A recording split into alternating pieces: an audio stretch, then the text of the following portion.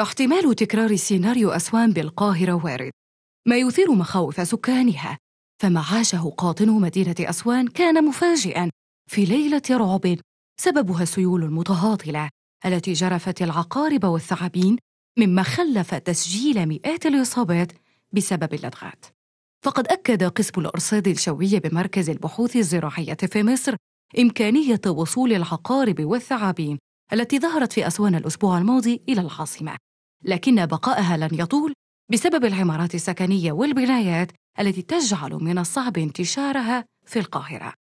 ظهور العقارب في أسوان وعلاقته بالأمطار يرجع إلى سقوطها بشكل غزير ما أدى إلى حدوث سيول قابله انهيار منازل عدة وكذلك المقابر.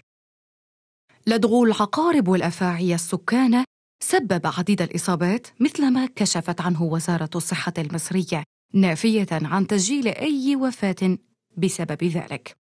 وعلى ما يبدو أن مدينة أسوان المعروفة بمناخها الحار صيفاً والمعتدل شتاء قد تغير.